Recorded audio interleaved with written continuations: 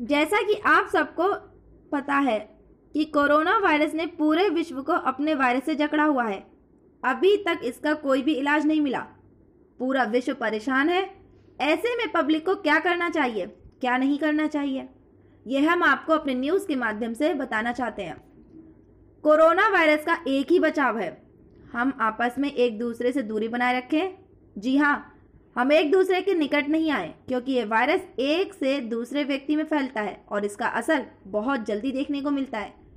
ऐसे में हमारे भारत के प्रधानमंत्री नरेंद्र मोदी जी ने बार बार भारत की जनता को समझाने का कार्य किया, लेकिन जनता प्रधानमंत्री नरेंद्र मोदी की बात मानने को तैयार नहीं है। उन्होंने पहले भारत की जनता से एक दिन के लिए जनता कर्फ्यू लगाने का कार्य किया था, तब भारत की जनता ने इसमें अच्छी भागीदारी निभाते हुए उस जनता कर्फ्यू को अच्छी तरह निभाया। लेकिन जब प्रधानमंत्री नरेंद्र मोदी ने 21 दिन लॉकडाउन करने का फैसला लिया तो पब्लिक ने पहले दिन ही उनके द्वारा लगाया गया लॉकडाउन तोड़ने का काम किया। उत्तर प्रदेश के मथुरा के कोसी कला में सब्ज़ी मंडी के आसपास लगी हज़ारों लोगों की भीड़। एक एक सब्ज़ी विक्रेता की दुकान पर 15 से 20 लोग इकट्ठा सब्ज़ी खरीदते हुए नज़र आए। आज सुबह छह बजे से लेकर ग्यारह बजे तक का समय था सब्ज़ी लगाने का। लेकिन 11 बजे के बाद भी काफ़ी मात्रा में सब्ज़ी विक्रेताओं ने अपनी दुकानें खुली रखी। इसकी जानकारी मिलते हुए थाना कोसी कला की पुलिस सब्ज़ी मंडी में पहुँची और उन सब दुकानों को बंद कराया गया और चेतावनी दी गई। अगर किसी ने समय से ज़्यादा दुकान खोली, उसका चालन काट दिया जाएगा। जेल जाना पड़ेगा। उसके बाद थाना कोसी कला की पुलिस ने कोसी कला में पूरे कस्बे में जा जाकर जो लोग बाहर घूम रहे थे उनको अंदर रहने के लिए कहा लेकिन फिर भी पब्लिक मानने को तैयार नहीं और बेकार की दो पहिया वाहन और चार पहिया वाहनों को पकड़कर थाने भेजा। इस संदर्भ में छाता क्षेत्र के अधिकारी जगदीश काली रमन ने जानकारी देते हुए बताया। सभी भाइयों को अगर वो नियमों का उल्लंघन करते हैं या जो समय सीमा निर्धारित की गई है इतने रेट पे आपको बेचना है उससे अगर वो ज़्यादा बेचते हैं तो क्या कानूनी कार्रवाई की जाएगी?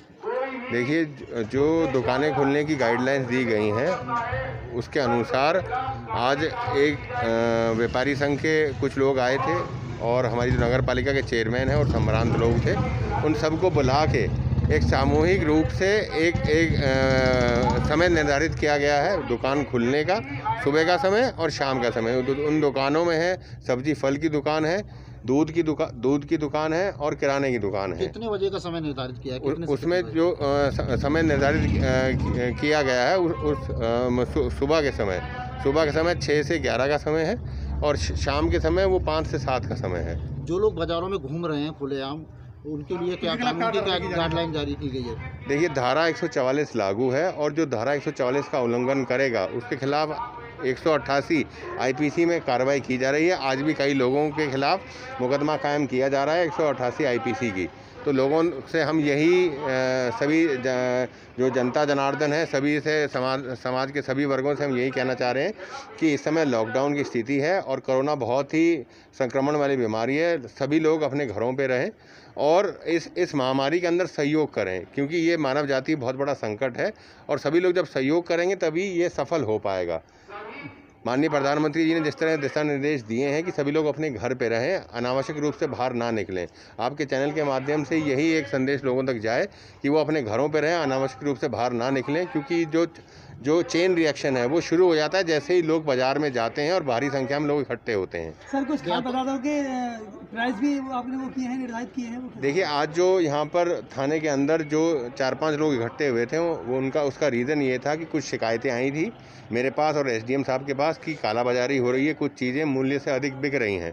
तो जो व्यापार मंडल है, व्यापार मंडल, चेयरमैन और आज तहसीलदार और मैं, हम सब लोगों ने बैठ के उनके आप, आपसी एक निर्णय किया गया कि ये चीज़ों का, ये निर्धारित मूल्य है उसकी एक सूची भी बनाई गई है। सभी लोगों ने उस पर हस्ताक्षर किए हैं, जिससे कि एक अंकुश लग सके और आम लोगों को ज़रूरत का सामान सही मूल्य पर मिल सके। सर, आज आटा नहीं है बाज़ार मार्केट में, मिल वालों के आटा नहीं है। लोग जो है आटे के लिए भाग दौड़ कर रहे हैं। तीस रुपये किलो तक आटा आज मार्केट में है।